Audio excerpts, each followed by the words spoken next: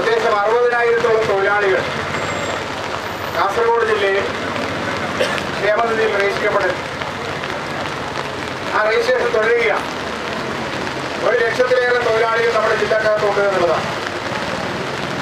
അതിന് പുറമെയാണ് അന്യ സംസ്ഥാനങ്ങളിലെ തൊഴിലാളികളുടെ കൂടി പ്രശ്നങ്ങൾ കൈകാര്യം ചെയ്യുന്നതിന് വേണ്ടിയിട്ടുള്ള ഓഫീസ് എന്നുള്ള നിലയിൽ ഈ ഓഫീസിന്റെ പ്രവർത്തനം അതുമായി ബന്ധപ്പെട്ട് കൂടിയാണ്. ഇപ്പോൾ നിലവിൽ രജിസ്റ്റർ ചെയ്യപ്പെട്ടിട്ടുള്ള തൊഴിലാളികളുടെ തന്നെ നിരവധി പ്രശ്നങ്ങൾ വരികയാണ്. ഇപ്പോൾ വിദ്യാഭ്യാസ ആനുകൂല്യങ്ങൾക്ക് വേണ്ടിയിട്ട് അപേക്ഷ അതുപോലെ രജിസ്ട്രേഷനുമായി ബന്ധപ്പെട്ടുള്ള കാര്യങ്ങൾ. മരണാനന്തര സഹായം അനുവദിക്കുന്നതുമായി ബന്ധപ്പെട്ട കാര്യം. ചികിത്സാ സഹായം. അങ്ങനെ ക്ഷേമ പദ്ധതിയിലെ നിരവധി ആനുകൂല്യങ്ങൾ. അതെല്ലാം കൈകാര്യം ചെയ്യുന്നത് ഈ ക്ഷേമ ജില്ലാ എക്സിക്യൂട്ടീവ് ഓഫീസറാണ്. അദ്ദേഹമാണ് അതിൽ അന്തിമമായിട്ട് ഒപ്പിട്ട് അതിന്റെ ഗുണഭോക്താക്കളായിട്ട് ആളുകൾക്ക് ആനുകൂല്യങ്ങൾ നൽകേണ്ടത്. എന്നാൽ ഇവിടെ നമുക്ക് കാണാൻ വേണ്ടി കഴിയുന്നത് ആഴ്ചയിൽ രണ്ട് ദിവസം ബുധനാഴ്ചയും അതുപോലെ തന്നെ ശനിയാഴ്ചയും മാത്രമാണ്. കണ്ണൂരിലെ ഓഫീസറാണ് ഇവിടെ ചാർജിലുള്ളത് എന്നുള്ളതുകൊണ്ട് തന്നെ അദ്ദേഹം രണ്ട് ദിവസം മാത്രമാണ് ഇവിടെ വരുന്നത്. എന്നാൽ ഇവിടെ നേരത്തെ സൂചിക്കപ്പെട്ടതുപോലെ ഈ നിശ്ചയിക്കപ്പെട്ട രണ്ട് ദിവസം തന്നെ കൃത്യമായിട്ട് അദ്ദേഹം വരുന്നില്ല.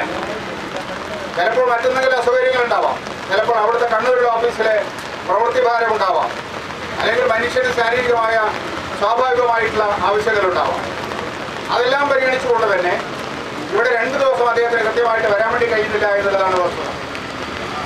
കണ്ണൂർ ജില്ലാ ഓഫീസറാണ് ഓഫീസർക്കാണ് ചാർജ് കണ്ണൂർ ജില്ലാ ഓഫീസിൽ ഏകദേശം ഒരു ലക്ഷത്തോളം തൊഴിലാളികൾ രജിസ്റ്റർ ചെയ്യപ്പെട്ടു. ഇനിയും തൊഴിലാളികൾ രജിസ്റ്റർ ചെയ്യപ്പെട്ടുകൊണ്ടിരിക്കുകയാണ് ഒരു ജില്ലക്ക് തന്നെ മുഴുവൻ സമയവും ആഴ്ചയിലെ ആറ് ദിവസം പൂർണമായിട്ടും ഓഫീസിൽ ഇരുന്നാൽ പോലും ചെയ്തു തീർക്കാൻ വേണ്ടി കഴിയാത്തത്ര ജോലിഭാരമാണ് ഒരു ജില്ലാ എക്സിക്യൂട്ടീവ് ഓഫീസറെ സംബന്ധിച്ചിടത്തോളം. അങ്ങനെയുള്ള ഒരു സാഹചര്യത്തിൽ കാസർഗോഡ് ജില്ലയ്ക്ക് മാത്രമായിട്ട് ഒരു ഓഫീസറെ നിയമിക്കണമെന്നുള്ളത് വളരെ കാലങ്ങളായിട്ട് ഞങ്ങൾ ആവശ്യപ്പെട്ടുകൊണ്ടിരിക്കുകയാണ്. അദ്ദേഹം പോയതിനു ശേഷം ആവശ്യപ്പെട്ടുകൊണ്ടിരിക്കുകയാണ്. ഇവിടെ ഞങ്ങൾ മാത്രമല്ല ഭരണപക്ഷത്തുള്ള ട്രേഡ് യൂണിയൻ സംഘടനകളും ഈ കാര്യങ്ങൾ നിരന്തരമായിട്ട് ഉന്നയിക്കപ്പെട്ടുകൊണ്ടിരിക്കുന്നു.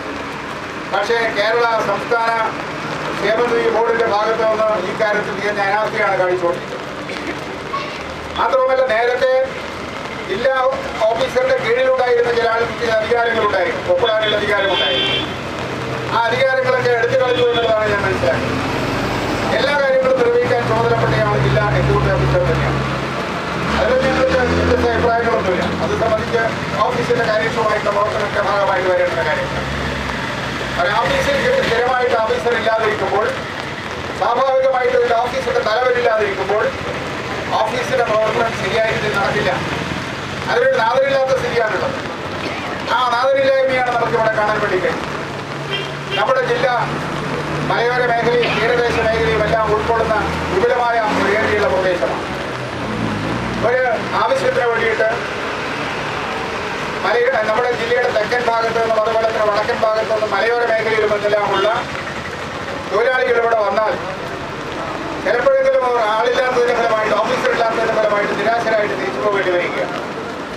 ഇതൊന്നും തൊഴിലാളികളുടെ കുറ്റമല്ല. ഇവിടെ ക്ഷേമനിധി ഓഫീസിൽ സ്ഥിരമായിട്ടുള്ള എക്സിക്യൂട്ടീവ് ഓഫീസറെ നിയമിക്കാൻ ആവശ്യമായിട്ടുള്ള വരുമാനമില്ലാത്ത പ്രശ്നമില്ല. കോടിക്കണക്കിന് രൂപയാണ് നിർമ്മാണ തൊഴിലാളി ക്ഷേമ പദ്ധതിയുമായി ബന്ധപ്പെട്ടുകൊണ്ട് ഈ പദ്ധതി പദ്ധതിക്കകത്ത് കുമിഞ്ഞുകൂടിയിട്ടുള്ളത് പക്ഷേ ഇതിന്റെ അധികാരസ്ഥ അധികാര സ്ഥാനം വഹിക്കുന്നവരായിട്ടുള്ള ആളുകൾ പ്രത്യേകിച്ചും അതിന്റെ സംസ്ഥാന തലത്തിൽ പ്രവർത്തിക്കുന്ന ചെയർമാൻ അദ്ദേഹം തികച്ചും ഏകപക്ഷീയമായ രീതിയിൽ ഏകാധിപത്യപരമായ രീതിയിലാണ് കാര്യങ്ങളെല്ലാം നടത്തുന്നത് ഇവിടെ അദ്ദേഹത്തിന് ഈ ക്ഷേമ പദ്ധതിയിൽ ആനുകൂല്യങ്ങൾ തൊഴിലാളികൾക്ക് കിട്ടണമെന്നില്ല. അദ്ദേഹത്തിന്റെ യൂണിയനിൽപ്പെട്ട അദ്ദേഹത്തിന്റെ പാർട്ടിയിൽപ്പെട്ട ആരും ഇതിനകത്ത്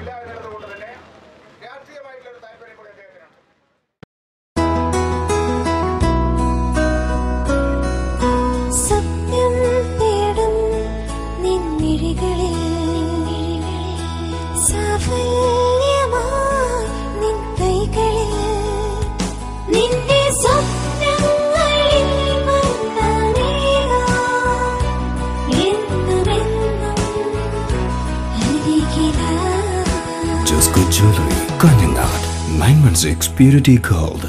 ഏഴഴകാർന്ന വധുവിന് പൊന്നഴക ചാർത്തും നയൻ വൺ സിക്സ് സ്വർണാഭരണങ്ങൾ.